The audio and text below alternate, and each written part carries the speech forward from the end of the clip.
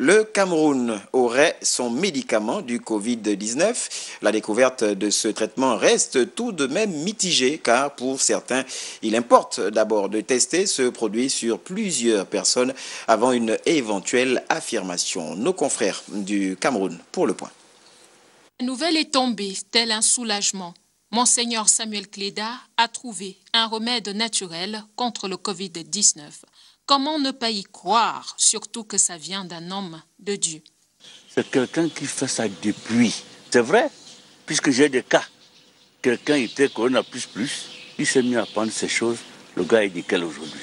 Une pilule qui ne passe pas chez les médecins pour qui la médecine n'est pas témoignage, mais preuve. Il faut qu'il en apporte la preuve des tests sur ces personnes, parce que s'il a soigné des symptômes, qu'est-ce qui lui donne la preuve qu'il soignait le coronavirus? Pourtant, les adeptes de cette science persistent et signent, ça marche. Pour qu'une personnalité de cette envergure se lève pour dire qu'il a trouvé une solution, il faut bien qu'il ait fait quelques essais biologiques préliminaires qui sied aux alicaments.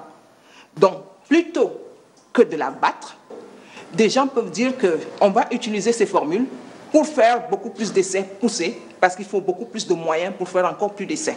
L'autre véritable problème avec la médecine traditionnelle, selon les disciples d'Hippocrate, c'est au niveau de la pratique. Quand on parle de médecine traditionnelle aujourd'hui, chaque élaboriste vient avec sa coction de feuilles et de sauces, de, de, de machin, qui dit voilà, vous allez prendre ceci.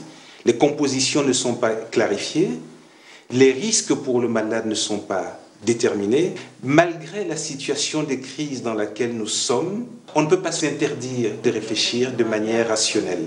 Tout ce qui importe à la fin, c'est de venir à bout du Covid-19. D'ailleurs, le ministre de la Santé publique n'est pas resté insensible aux trouvailles de Madagascar et de Monseigneur Samuel Cléda.